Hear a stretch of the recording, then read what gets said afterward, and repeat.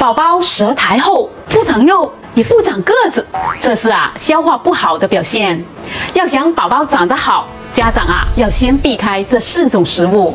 不知道的，先点个赞，保存下来。第一，少吃水煮蛋。水煮蛋呢，营养价值高，但是不容易被消化。建议啊，给宝宝做成鸡蛋羹，更容易消化，适用于一岁以上的宝宝。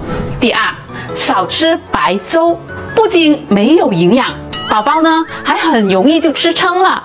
要吃就吃小米粥，营养丰富，而且啊，小米粥上面呢还有一层粥油，能够帮助保护宝宝的小饭包黏膜。第三，少吃汤泡饭，汤泡饭跟粥是不一样的。宝宝啊，吃得太快，没有经过充分的咀嚼，会加重对胃的负担。第四，少吃寒性水果，比如火龙果、西瓜、柿子等，应该呢选择当季的水果，避开反季水果。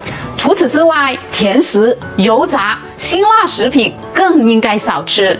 想让孩子啊吃得香、长得高，先要保护好宝宝的小饭包。家长们一定要记住哦。